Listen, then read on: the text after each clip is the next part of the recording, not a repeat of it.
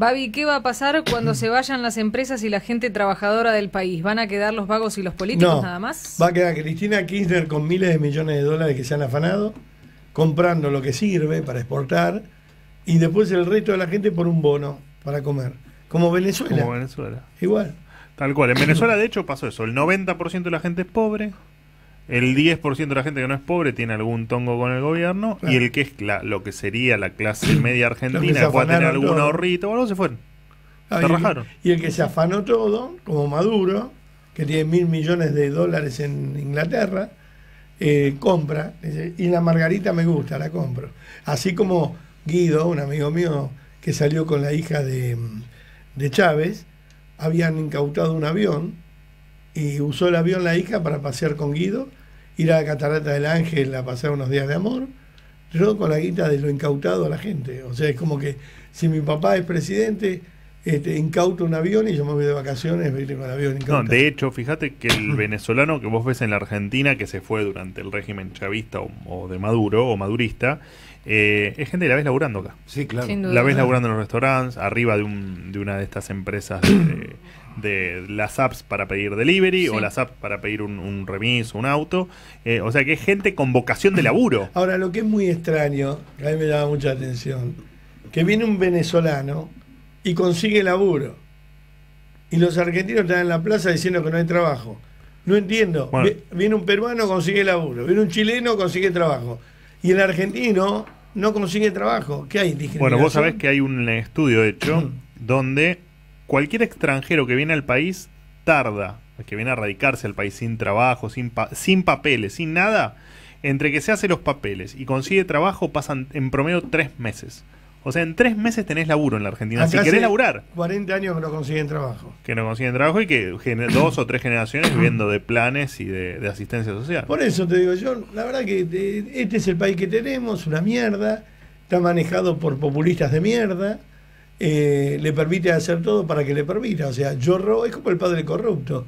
Yo fumo marihuana, tomo cocaína, salgo con mujeres, me mamo, le pego a mamá y el hijo dice, yo me voy a fumar un porro, hacelos. En total, si vos, yo lo puedo hacer, pues lo puedo hacer. Entonces tenemos un gobierno de corruptos, entonces, ¿qué le va a asombrar un motochorro si ellos se roban el país? ¿Qué le va a asombrar un concejal que se robó una vacuna si ellos se la robaron toda? Por eso te digo, es igualar para el lado de la mierda. Es, es Venezuela. Chávez eh, eh, era un corrupto. Siempre- hay que llamarlo a. que no quiere salir al aire. Este pibe, ¿cómo es que siempre me olvidó? El de las valijas de Anthony Wilson. eh, em, el que me encontré en el Tinto y Soda. Uberti. Uberti, A- Claudio Uberti. Siempre lo pensás, pibe, tenés que estar preparado. Claudio Uberti. A Claudio Uberti para que diga cuántas valijas pasaron de Anthony Wilson, cuánta guita hicieron y cómo hicieron la negociación de la guita que nos prestó Venezuela al 12%, donde se dieron 50 palos verdes eh, Chávez y 50 Néstor, por haber intermediado como usureros. Bueno, ahí la tenés. Y sería un negocio marginal. No, entiendo, un, un No. pequeño negocio, una chirola. Para- ya para el que- fin de semana. Ya que llevamos la valija, 50 palos para cada uno. Así, y Muñoz de la valija Muy decía, y 20 para mí. Sí, sí. O sea, todo eso robaban en cadena. Sí. Eh, segunda línea del gobierno nacional, que quinerista, más del lado cristinista, ¿sabes lo que dicen? Si llegamos al 60% de pobreza, no nos vamos nunca más. Claro, ellos quieren llegar al Es 60. eso, Claro. es llegar a Venezuela. 60% de pobres, no se van nunca más porque Es que va a no estar la más. gran mayoría dependiendo de una plata del Estado. Tuvo, te- tuvo Mauricio Macri las esposas en la mano para ponérselas a Cristina y no, se, no tuvo las bolas de ponérselas gracias a Marquito Peña y a Macri. Porque no es que gracias a... Este, Vos sabés que yo esta semana tenía que hacer, habíamos cerrado una nota con Macri en la tele. Y no, te, no sé si tengo ganas de tenerlo hablando. Estoy enojado también con Macri. Eh, con esto no le saco el cuerpo, no saco el culo a la jeringa. ¿eh? Ah, tenés oportunidad de preguntarle. Si Sí, estás enojado, decirle. no, ya se lo dije a él. Estoy enojado, ¿viste? Estoy enojado porque realmente eh, eh, no es lo que hizo él, es lo que no hizo él. Que fue, si yo voy a comprar una empresa, voy a comprar Farabela, digo, el activo y el pasivo. ¿Con qué me encuentro? ¿Con qué no me encuentro? El pibe subió y era como que venía de Disneylandia y tendría que haberse... Y hay, para mí, que eso que dice que cuando Cristina lo llamó a la quinta 15 minutos antes de no entregarle la banda, le dijo, si vos llegás a meterme en cana, yo te quemo Buenos Aires, a lo mejor es verdad, una amenaza que él tuvo miedo, pero nosotros necesitamos votar un presidente que venga y la meta en cana a ella o a él o a cualquiera, pero que se termine, que diga, bueno, mira, Franco, no sé quién fue, pero ustedes estaban adentro. Y a la mierda hasta ahí no salimos. Si no, no salimos, seguimos cambiando un corrupto por otro. Y es una mierda, ¿viste? Seguimos cambiando un chantapufi por otro chantapufi. Bueno, pero sabes que eh, yo recuerdo una frase tuya que te hace mucho, creo, cuando vos decías que lo venís, lo seguís repitiendo, porque te lo escuché varias veces, cuando decís, bueno, con Cristina en el medio, una Argentina diferente no es posible. Claro, ¿no? Y yo al principio no te creí que estabas diciendo algo que que no, no tenía sentido y a medida que pasa el tiempo me estoy empezando a convencer que efectivamente con Cristina en el medio no. Pero eh, esto, esto, me ha pasado en la historia. Eh, con Margaret Thatcher no se podía llegar a un arreglo de Malvinas. O sea, hay gente que nos iba. Mientras Cristina está en el medio, metiendo la cola en todos lados, eh, no va a haber amistad, va a haber más grieta, es un ser nefasto. Y hasta que no comprendamos que Cristina Kirchner es un ser nefasto, ¿y sabe qué pasa? Es obligación identificarla. Porque el médico, cuando identifica a la bacteria, encuentra el antibiótico. Eh, en un país, cuando vos encontrás cuál es el problema, porque todos decimos, ¿qué pasa? Que la Argentina está cada vez peor, no sale. es Cristina Kirchner, se llama, se llama, se llamó y se llamará Cristina Kirchner.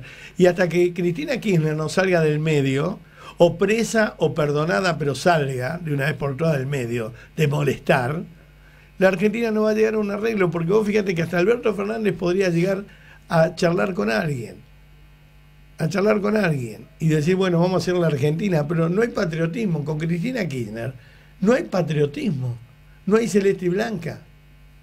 Eh, claro, lo que pasa es que si a eso le sumo lo que dijo Ricardo, suponiendo que sea verdad lo que dijo Ricardo, que con dicen que con el 60% de pobres no se van más, y esa es la tesis que manejan, bueno, es muy peligroso, ¿no? Porque lo van a terminar logrando. Y claro, con un 60 de no estamos tan lejos, ¿eh? No, no, tiene, mirá, hijo, vos decís que de entrada no me entendí, ahora me entendés. Yo hace 25 años, con Dualde, decía que Dualde estaba armando el ejército de las tinieblas.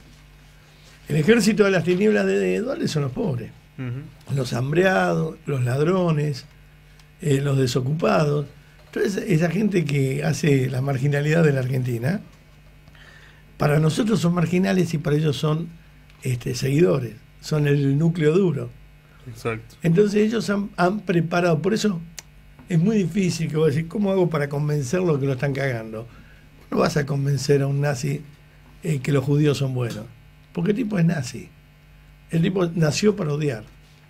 Y vos no vas a, Y es duro, pero la verdad, no vas al núcleo duro del kirchnerismo, el 20% de Cristina, 22, nunca a convencer lo que chorra. Te lo ha dicho Pablo Echarri. Si yo me mañana me convenzo que robó la voto lo mismo.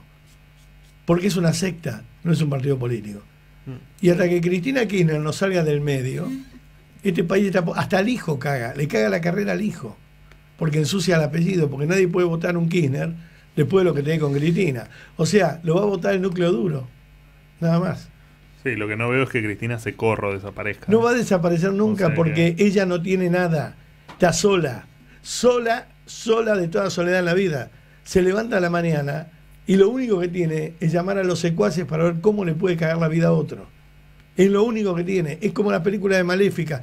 Y no, no es que yo la veo así analizarla fríamente y vos te vas a dar cuenta que esta mujer en la cabeza lo único que tiene es tener el poder de los que tiene alrededor para poder usarlos a gusto y piacere. Es más, no le importa si va presa o no. A ella lo que le importa es ser centro. Tiene un complejo tan grande que ella tiene que ser centro en tribunales, centro en la, la reina, la reina, la reina. Porque ella cree que es la reina. Pero es una enfermedad de ella, no mía. Yo no tengo por qué creerlo porque vivo en democracia. Si ella quiere ser reina, eso se, consigue con sangre azul como la reina de Inglaterra. Pero ella vive como, ella quiere ser reina. Quiere ser reina. Decir que no sale en la revista Hola, porque la guita que va a comprar la Louis Vuitton es afanada. Y ahí se compra con, con, guita de la corona. Pero nada más. Pero a ella le gustaría que le enfoque en la revista Cara. Dígame si me equivoco. Así, Hola, sí. miren lo que Claro, se puso claro. Cristina. Miren, acordate cuando se disfrazaba de. ¿Cómo se llama la gobernadora Vidal? Se vestía como Vidal con calzas y suéter largo. Ella no tiene, parece fuerte, pobre, pero su personalidad es enclenque. Es enclenque. El único que la manejaba era Néstor, que no le creía nada. Pero, eh, eh, y los boludos que están alrededor, que afanan gracias a que existe Cristina, le dicen todo que sí porque a ellos hacen negocios brutales. Pero es una mujer que tiene una pobre, pobrísima, pobrísima, pero lastimosa personalidad. Porque, ¿sabes qué triste levantarte a la mañana? Y, por más que tengas a tu custodio, tengas a tu empleada doméstica, ah, es más, te puede llamar tu hijo, ¿me entendés? Pero ¿sabes qué triste levantarte con esa soledad absoluta de, de que no te quiere todo el país? Hay un 70% de gente que te odia. Que el mundo entero te nombra la corrupta, no la Cristina. ¿Sabes lo que tri- vos ponete en ese lugar de verdad? que el mundo, que los presidentes del mundo, que todo el mundo diga, ah, la presidenta corrupta, que te conozca el mundo como corrupta y no como reina de Inglaterra. Y ella soñaba con ser reina, pero rey se nace, no se hace robando.